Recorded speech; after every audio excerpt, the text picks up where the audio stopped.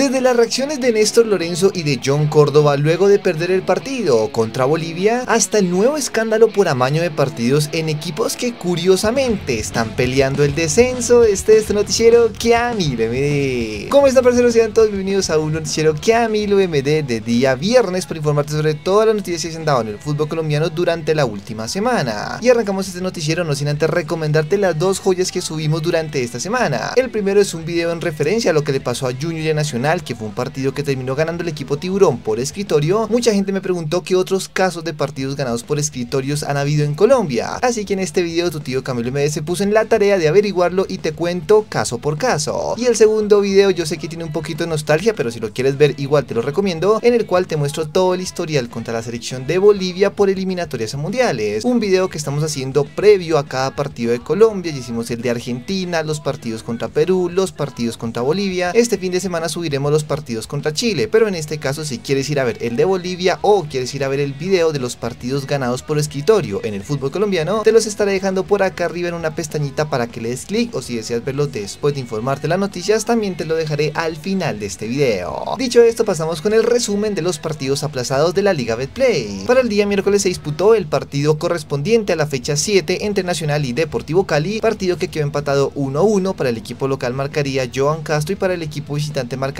Andrés Estupiñán. El día jueves se jugarían dos partidos, el primero correspondiente a la fecha 8 entre Medellín y Alianza, partido que ganó el equipo local por 2 0 con goles de Diego Moreno y de Leiser Chaverra, mientras que Independiente Santa Fe recibiría al Boyacá Chico en un partido correspondiente a la fecha número 9 y le terminaría ganando por 3 1 con gol de Iván Escarpeta y doblete de Harold Mosquera, mientras que para Boyacá Chico arrancaría marcando Wilmar Cruz. El día de hoy viernes también se va a disputar otro partido aplazado, en este caso por la fecha 5 entre América de Cali y Millonarios, un partido que seguramente para cuando estés viendo este noticiero ya habrá pasado y tú ya sabes cuánto quedó, así que te agradecería que me dejes el resultado acá en los comentarios. A falta solamente del partido entre América y Millonarios, la tabla de posiciones se encuentra de la siguiente manera, con América de Cali y 11 Caldas líderes del campeonato con 26 puntos, seguido de Santa Fe con 25, Nacional tiene 23, Millonarios tiene 21, los mismos que Tolima y Fortaleza, Deportivo Pasto tiene 20, Junior 19, Águilas y Bucaramanga tienen 17, Medellín y Pereira tienen 15, La Equidad tiene 14, Patriotas tiene 13, Alianza tiene 12, Deportivo Cali tiene 10, Jaguares tiene 8, los mismos que el Boyacá Chico y el último del campeonato sigue siendo el Envigado con 6 puntos. La tabla del descenso ha tenido cambios bastante notorios que favorecen al Deportivo Cali, el cual pasó de estar peleando la casilla 18 y 19 del torneo a ya estar mucho más tranquilo en la casilla 16. En los últimos lugares encontramos a Patriotas que tiene un promedio de 0,88, Jaguares promedio de 0,98, Envigado promedio de 1,01, Boyacá Chico promedio de 1,04, Cali promedio de 1,06 y Alianza promedio de 1,18.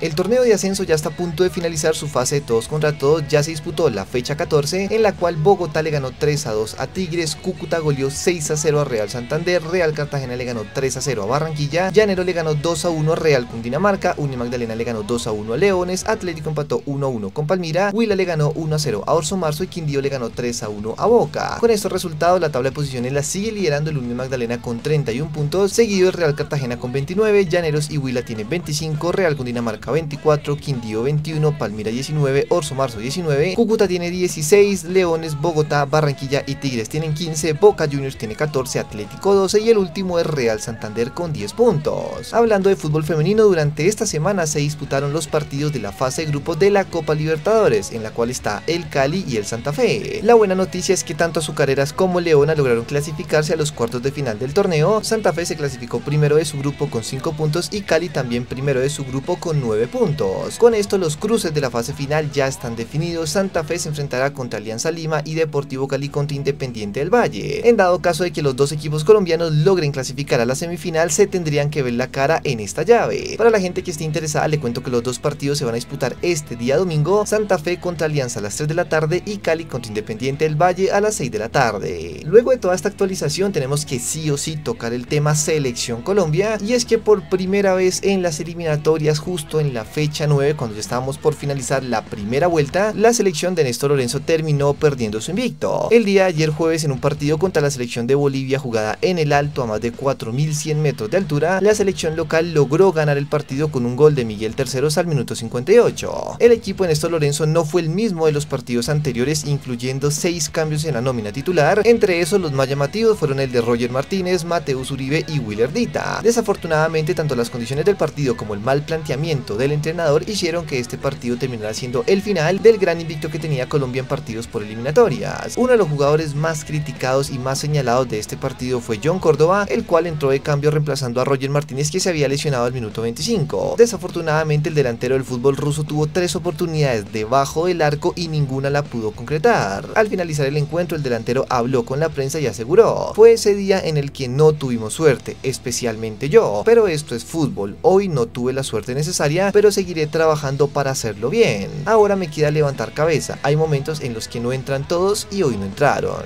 Por su parte Néstor Lorenzo también habló luego de este partido y aseguró que el equipo hizo valer al hombre más, dominaron el juego y también dominaron las llegadas, pero no supieron concretar. Con la frustración que, significa una derrota, una situación donde el equipo jugó gran parte del partido con un hombre de más, lo hizo valer, yo creo, considero que, que a partir de queda con un hombre de más. Fuimos dominadores en el juego y en las y en las llegadas, pero no pudimos concretar. Ellos tuvieron una en el segundo tiempo y, concretaron y nosotros tuvimos muchas y no, no pudimos. Mucho se ha hablado y mucho se ha analizado sobre este partido, los errores que cometió el entrenador, el planteamiento inicial, los cambios, obviamente el factor altura que muchos dicen que no tiene importancia, se pudo ver que sí, el por qué hubo tanto debutante que no lo hizo tan bien como el caso de Willardita, como también hubo críticas que nada que ver como la gente que pedía que entrara John Durán, pero no sabían que John Durán estaba suspendido para este partido por acumulación de tarjetas amarillas, a pesar de que se perdió el invicto, de que Colombia cayó contra Bolivia, de que Bolivia se metió entre las clasificadas y demás, el próximo partido contra la selección de Chile tiene que ser sí o sí la reivindicación de esta derrota. Chile terminó perdiendo su partido de esta fecha número 9 contra la selección de Brasil a pesar de arrancar ganando, viene bastante dolido, seguramente Gareca si pierde el partido lo van a terminar echando. Y Colombia lo más probable es que vuelva a alinear, no se puede toda la misma nómina de Argentina porque hay lesionados, pero seguramente volveremos a tener una nómina titular que esté a la altura del encuentro. Otra de las novedades que vamos a tener para este partido contra Chile es la nueva camiseta que va a utilizar Colombia en homenaje a los 100 años de la Federación Colombiana de Fútbol. La marca alemana ha rediseñado la primer camiseta que utilizó la selección colombiana en su historia, que era una simple camiseta blanca con las franjas de la bandera nacional en el medio. Esta camiseta de colección ha gustado bastante a la mayoría de los hinchas colombianos y para la gente que se pregunte cuánto va a valer en las tiendas de Adidas, le cuento que el valor está en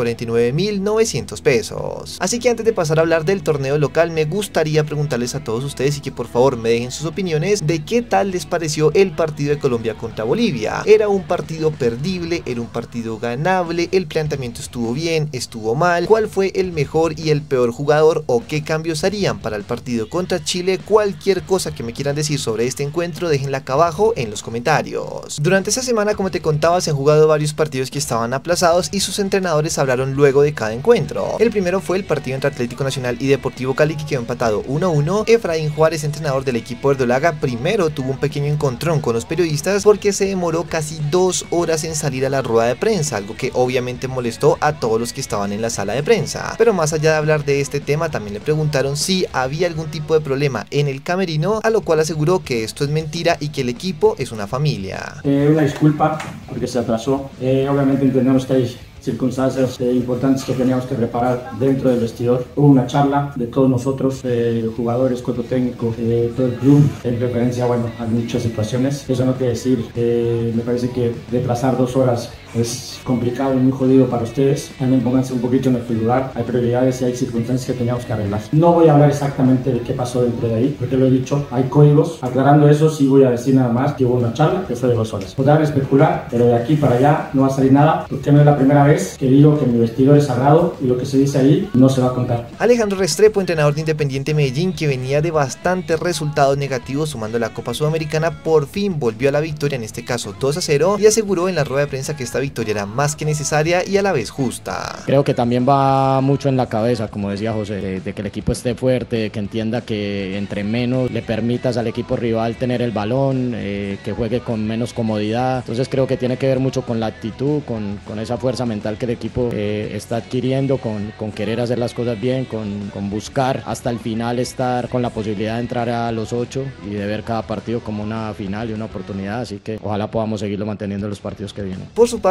Pablo Pirano, entrenador de Independiente Santa Fe, luego de ganar este partido y volverse a poner entre los tres primeros de la tabla, a pesar de tener un partido menos, aseguró que el equipo tuvo la personalidad para buscar distintos caminos a pesar de arrancar perdiendo. La clave es mantener los comportamientos y la, y la forma, la personalidad de los, de los jugadores en, remontar, en remontar un partido que, estaba 1-0 en, en, en casa. Eso es lo más, lo que más destaco, la, la, actitud y la personalidad que tienen los jugadores de Santa. Esta semana también tuvo otro partido que había sido aplazado, en este caso el partido de vuelta entre Bucaramanga y Millonarios por los octavos de final de la Copa Colombia. En este partido tanto Bucaramanga como Millonarios terminaron empatando 1 a 1, para el equipo local marcaría Andrés Ponce Núñez y para Millonarios marcaría Sergio Mosquera, resultado que los mandó a la definición desde el punto del penal donde el equipo local ganaría por 4 a 2. Con esto ya conocemos cuáles van a ser los cruces de los cuartos de final. América de Cali se va a enfrentar contra su clásico el Deportivo Cali, Pasto se va a enfrentar contra el Bucaramanga, Jaguares se va a enfrentar contra Nacional y Boyacá Chico se va a enfrentar contra el Medellín. Tanto los partidos de ida como los partidos de vuelta de estas llaves se van a disputar en las últimas dos semanas de este mes de octubre. Durante la fecha número 13 se presentó una situación arbitral que como siempre causa polémica, pero en este caso mucho más cuando vimos la manera catalogada por muchos como ridícula en la que expulsaron a Jason Guzmán. Johnny Vázquez, defensor del Deportivo Pereira, tenía una tarea fija y era detener, hacerle un stopper a Jason Guzmán, quien es la figura del equipo tolimense. Arrancando el partido al 10 del Tolima le terminan sacando una tarjeta amarilla, hasta ahí todo normal, pero Johnny Vázquez seguía encima provocando y provocando a Jason Guzmán para que le sacaran la segunda tarjeta. En un momento sin pelota alguna, Johnny Vázquez va, busca a Jason Guzmán y le termina metiendo un golpe en toda la cara. En ese momento el árbitro detiene el partido, los jugadores del Tolima le piden que expulse a Johnny Vázquez, pero queriendo no afectar el partido dijo voy a sacarle tarjeta amarilla a los dos para que dejen de pelear, lo que evidentemente pasó por alto el central es que ya Jason Guzmán tenía tarjeta amarilla, por lo cual esa tarjeta que se suponía que era simplemente para calmar los humos terminó provocándole la tarjeta roja. En ese momento todos los jugadores del Tolima se le van encima, se le ve la cara al árbitro de que no se acordaba de que Guzmán tenía amarilla, pero obviamente ya no podía hacer nada y como ustedes saben el tema del VAR solo se utiliza para corregir tarjetas rojas, en este caso doble amarilla no cuenta. La indignación por todo lo que sucedió hizo que el Deportes Tolima no se quedara callado y sacara un comunicado oficial al día siguiente en el cual aseguraron que a primera hora radicaron en el comité disciplinario del campeonato y la comisión arbitral de la Federación Colombiana de Fútbol un oficio en voz de protesta por la nefasta, dicen ellos, actuación del cuerpo arbitral en cabeza del señor Lismail Suárez. Por el momento no se conoce la decisión de la Mayor, pero aunque muchos crean que fue una expulsión bastante tonta, lo más probable es que la Mayor le deje la roja. Como te decía al principio de este video, seguramente para el momento que estés viendo este noticiero ya viste el partido de América Millonarios, seguramente Camilo estuvo en directo reaccionando a él, pero ahora que estoy grabando el video antes de que se juegue el partido, tengo que contarte que entre Millonarios y América calentaron bastante este encuentro. El primero fue Millonarios que a inicios de semana colocó un edit en el cual se veían a los jugadores que estaban en un aeropuerto y en la parte de arriba se podía ver la sala y la escala a la que iban. En el primero se veía el partido entre Cali y Millonarios, luego el partido entre Bucaramanga y Millonarios y el tercero el partido entre América y Millonarios, pero obviamente la gente se dio cuenta que en la escala decía